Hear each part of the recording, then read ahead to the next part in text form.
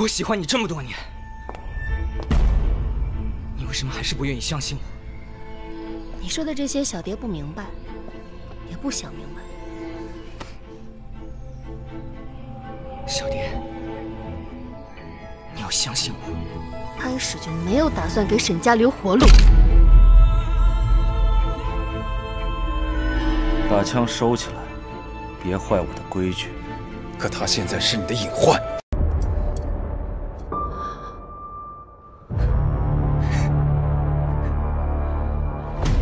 你想干嘛？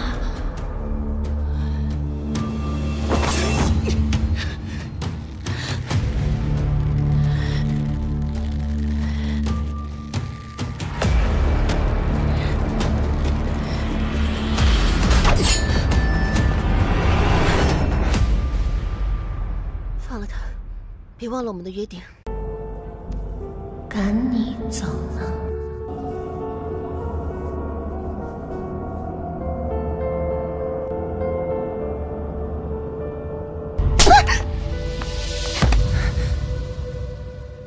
四娘是又犯什么病了？有这么跟家里长辈说话的吗？究竟怎么回事？四娘，她误会我拿了大帅的文件。少帅怕是不知道，自己娶了个细作过门的。此次聂真必除。那就多谢侯师长了。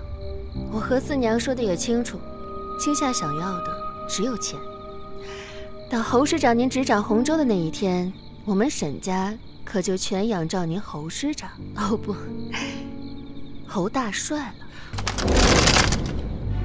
我的夫人没有受伤，自然是虚惊。少废话，我来开这枪。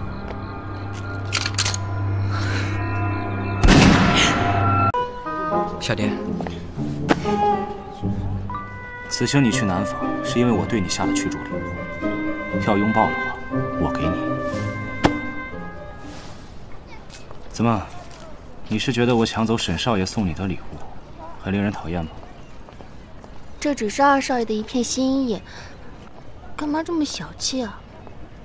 心意，心意是吧？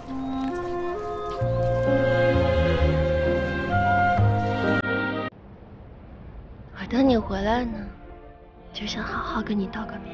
小蝶，你别干傻事。是大帅害死的大小姐，与你好好道完别，我也可以安心的走。小蝶，只有我与大帅